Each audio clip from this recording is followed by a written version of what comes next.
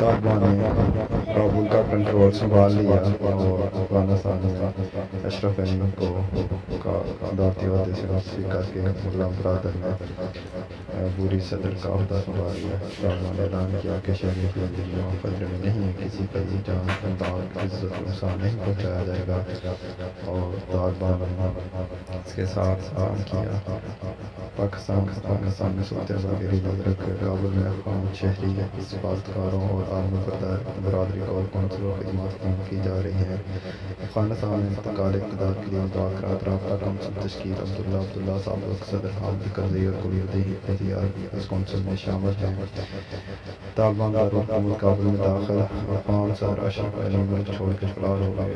اشرف غنی مشکل وقت ملک کو چھوڑ کر گئے۔ انہیں تاریخ میں یاد رکھا جائے گا۔ عبداللہ عبداللہ کا بیان۔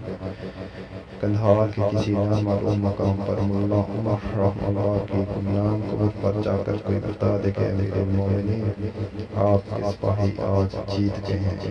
مفتی سید عدنان کا کا اللہ کا بیان۔